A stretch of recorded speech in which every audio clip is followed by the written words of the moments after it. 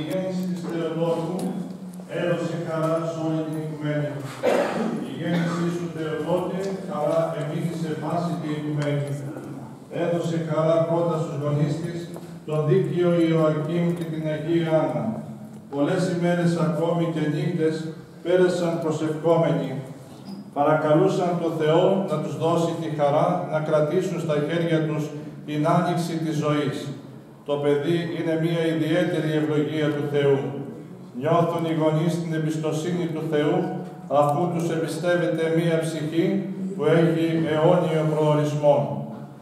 Την εποχή μάλιστα εκείνη η ατεκνία ήταν όνειδος, εντροπή, γιατί διέψευδε η κάθε ελπίδα περί της γεννήσεως του απεσταλμένου του Θεού.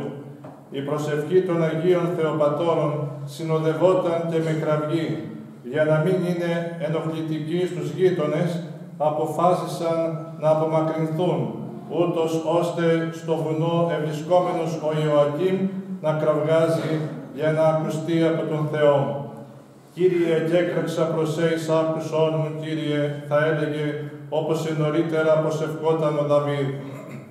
Και η θερμή, η καρδιακή, η γεμάτη πίστη και ελπίδα προσευχή του έφερε το ευλογημένο αποτέλεσμα.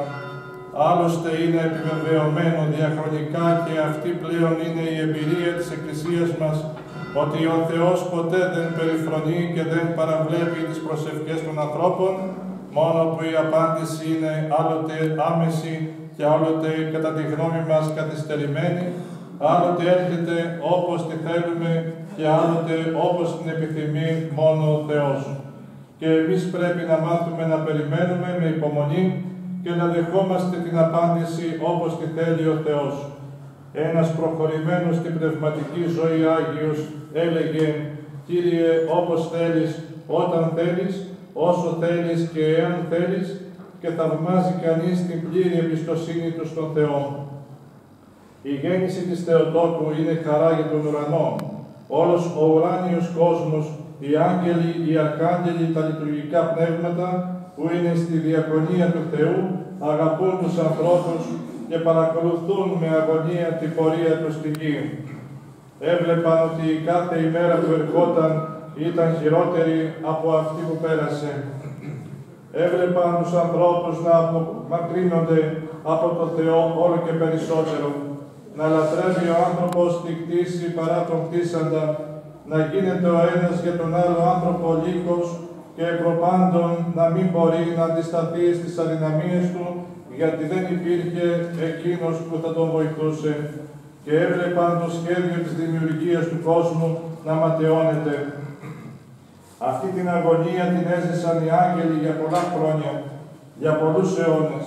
Όταν γεννήθηκε η Θεοτόκος, ένιωσαν ανίποτη χαρά, γιατί πλησίαζε πλέον και η γέννηση του λυτρωτή του κόσμου και η απαλλαγή του ανθρώπου από τη δυστυχία και την αιώνια καταδίκη.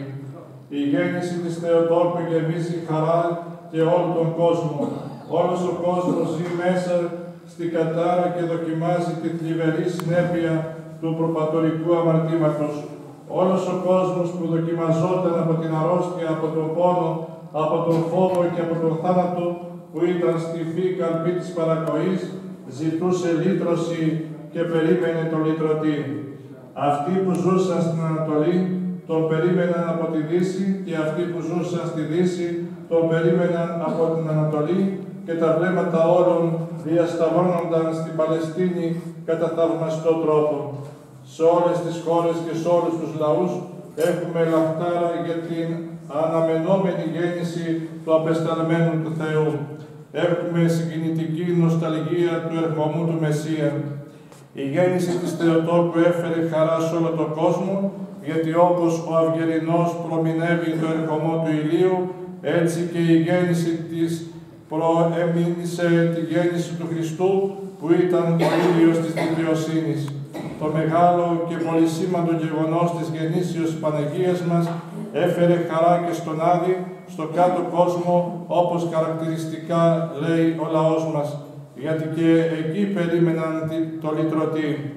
Περίμεναν να ακούσουν κήρυγμα μετανοίας, περίμεναν και εκεί τον Άγγελο του Θεού, δηλαδή τον Τίμιο Πρόδρομο, για να τους προετοιμάσει αφού ο λυτρωτής θα έφτανε και εκεί για τρεις ημέρες και τρεις νύχτες, ώστε κανείς να μην αδικηθεί.